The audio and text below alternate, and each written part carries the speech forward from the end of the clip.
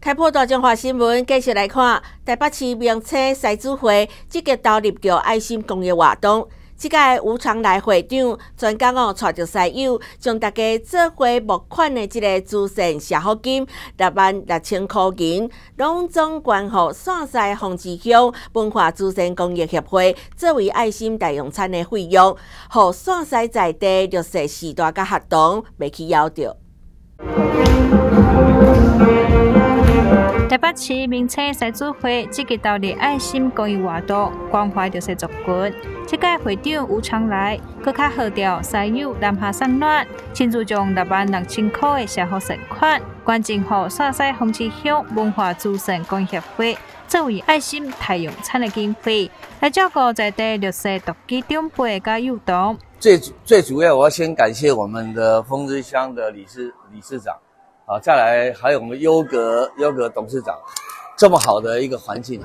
给我们来这个地方能够做这么这么好的一个一件事情。所有的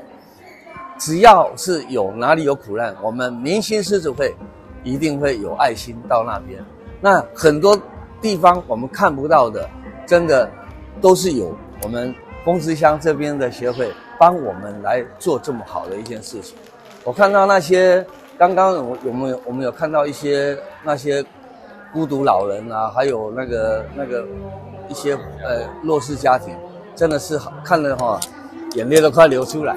但是真的就是由我们洪志香理事长哈啊帮忙给我们这样子有这个机会啊来做这个活动。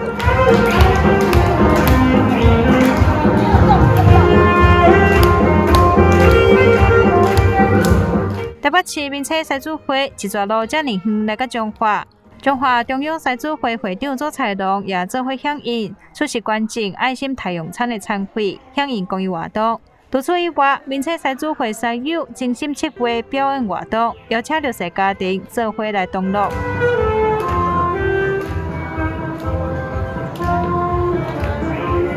沙西红旗乡文化资产公益协会理事长陈振秀表示。吴昌来会长是沙西乡亲，真正真感谢伊伫需要有心了后，积极来回馈家乡，祝福乡里，也感谢西友做会义助爱心太阳餐的经费。另外也感谢沙西乡农会提供物资，共同来关怀沙西绿色家庭。大中华新闻叶红武沙西彩虹报道。